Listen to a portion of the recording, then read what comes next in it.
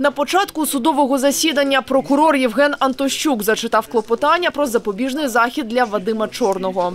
Прошу, шановний суд, задовільнити клопотання та застосувати до підозрюваного чорного Вадима Львовича 08.08.1972 року народження запобіжний захід у вигляді тримання під варту на 60 діб без визначення розміру застави.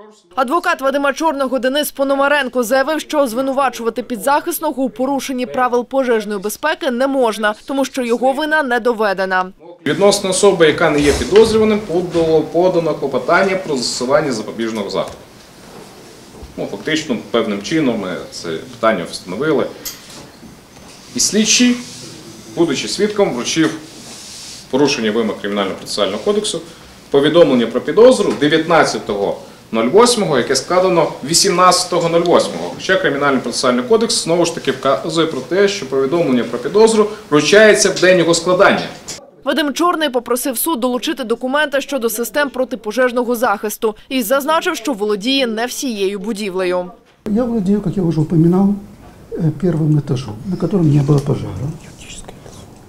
Э, Я э, ещ- еще более точно, я не являюсь владельцем формально, я являюсь директором юридического лица, которое владеет. Я не являюсь бенефициаром, но как бы я являюсь директором первого этажа. На первом этаже пожара не было. Після виступу Вадима Чорного суддя пішов до нарадчої кімнати. Своє рішення він оголосив за дві години. Обрати щодо підозрюваного Чорного Вадима Львовича 8.8.72 року народження запобіжний заход у вигляді тримання під вартою сроком на 60 днів.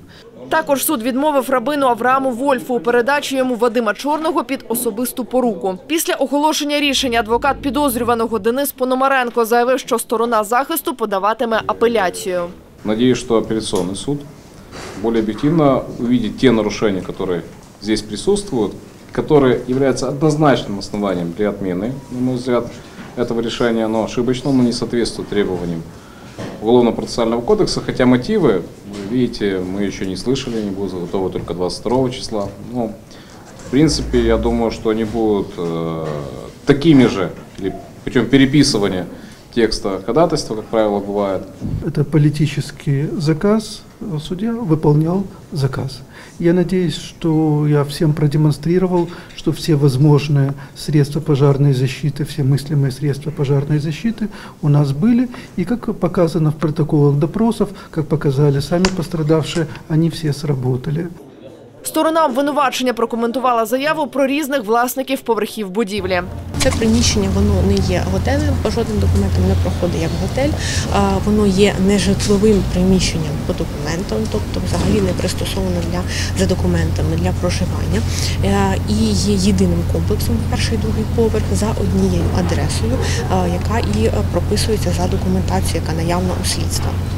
Наразі прокуратура готує підозру іншому фігуранту. Надія Хлушкова, Сергій Коняхін. Новини на Суспільному. Одеса.